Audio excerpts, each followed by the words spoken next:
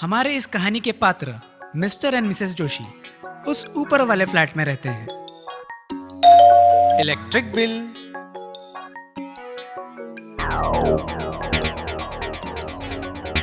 तीन हज़ार चार सौ चालीस। क्या हो गया आपको? मैं अपनी इस छोटी सी तनख्वाह में बिजली का इतना भारी बिल हर महीने नहीं भर सकता।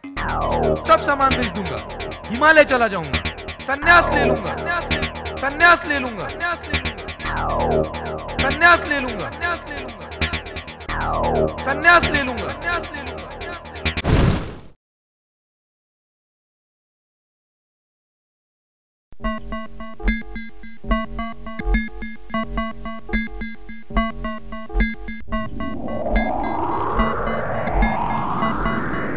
मेरे मालिक आपको हमारी वजह से कहीं जाने की ज़रूरत नहीं है। कौन बोला? आपका रेफ्रिजरेटर। बजाय कहीं जाने के आप हमारा उपयोग सही तरीके से करेंगे तो बिल काफ़ी कम लगेगा। वह कैसे?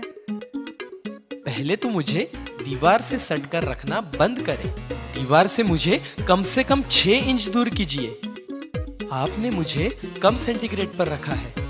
अभी ठीक है, लेकिन ऋतु के साथ सेटिंग कम ज़्यादा करना चाहिए। वैसे ही मुझे आपकी श्रीमती जी ने ऐसा ठूस के भरा है कि पूछिए मत, उससे भी ज़्यादा बिजली लगती है।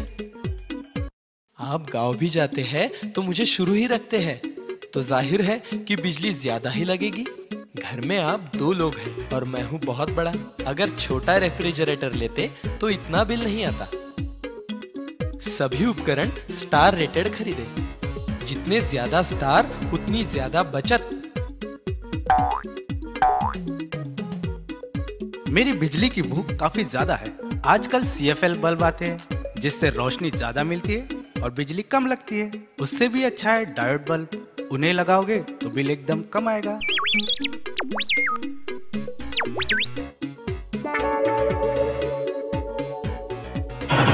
रोज़ाना कम से कम आठ से दस घंटा तो मैं बिजली चलाता ही हूँ। मुझे हमेशा मेन स्विच से बंद करें। मेरी जगह लाइए एलसीडी टीवी मुझे लगते हैं 240 वॉट बिजली जबकि एलसीडी टीवी को लगते हैं केवल 110 वॉट बिजली। साथ ही कंप्यूटर का मॉनिटर भी एलसीडी लगा लो। बिजली के बिल में भारी कटौती पाओ। सर सर मेरी बात भी सुनिए। सर मुझे भी अब रिटायर कर दीजिए। स्टोरेज गीजर लोगे तो बिजली कम लगेगी और अच्छा होगा गैस गीजर। सोलर गीजर तो एक बार लगाओ और ज़िंदगी भर मुफ़्त में गर्म पानी पाओ। मालिक, मैं तो आपके कपड़ों की शोभा बढ़ाती हूँ। इस्त्री करते समय उतनी गर्म करो जितनी ज़रूरत हो। सूती कपड़ों को ज़्यादा गर्म इस्त्री लगती है, उन्हें पहले इस्त्री कीजिए। एक साथ ज़्यादा कपड़ों को इस्त्री करोगे तो बिजली कम लगेगी और इस्त्री करते समय दूसरे काम ना करें, उससे बिजली फिजूल खर्च होगी। आपका एसी आपसे कुछ कहना चाहता है? सर, मैडम, मेरी बातों पर भी गौर करें।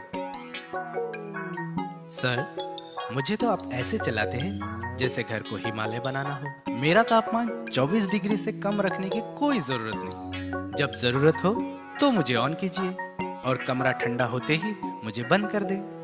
मेरे चलते हुए कमरे का दरवाज़ा खुला मत छोड़िए। इतना करोगे तो बिल तो कम होगा ही। बिजली की बचत ही बचत होगी। सही कहा तुमने।